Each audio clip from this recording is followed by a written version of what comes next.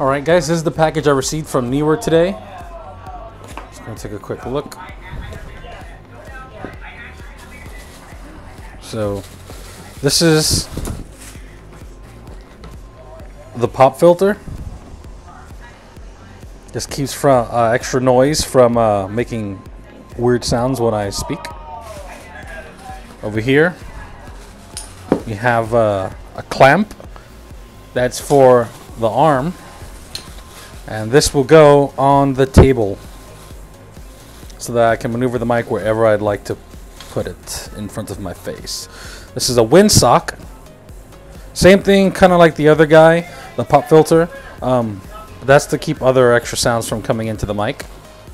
This is the holder for the mic that goes with the stand. Uh, this is like a this is a shock mount, and it's to keep any sounds from when I bang on the table or anything from affecting the microphone so it doesn't sound like shit. And this, this right here is the mic. Looks good.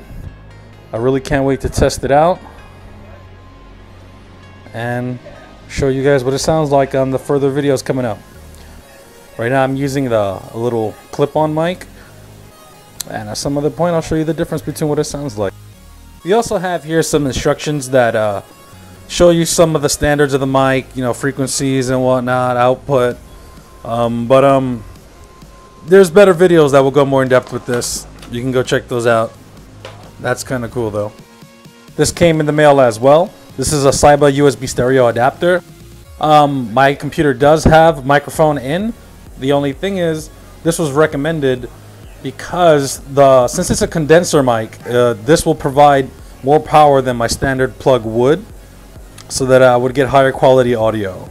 And we're gonna put this to the test instead of using a phantom power. So thank you guys very much. See you guys later.